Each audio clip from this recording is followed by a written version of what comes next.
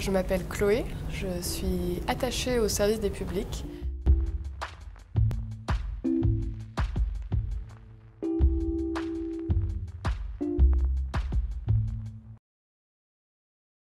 Euh, je suis donc à la médiation euh, ici à Carquefou, mais aussi euh, sur l'antenne de Nantes et sur les projets en région.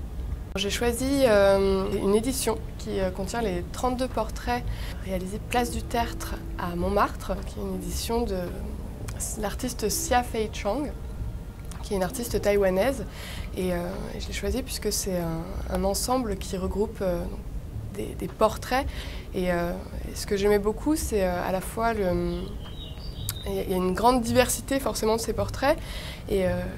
Et quand on les découvre dans l'exposition, on a toujours euh, la possibilité de voir juste un portrait par jour.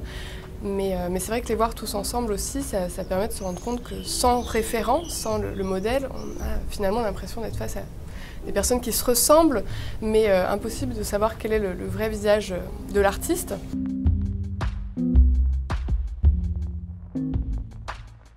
Alors moi, la première fois que je suis allée à, Montmartre, je devais avoir une douzaine d'années, et je me souviens vraiment de, de ce jeu euh, sur le, folklore euh, de, ce lieu.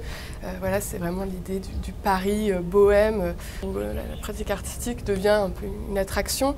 En même temps, il y a quelque chose de, factice et, en même temps, je trouve ça assez intéressant d'avoir cette survivance un peu d'un Paris des années 20 qui se retrouve ici et qui perdure.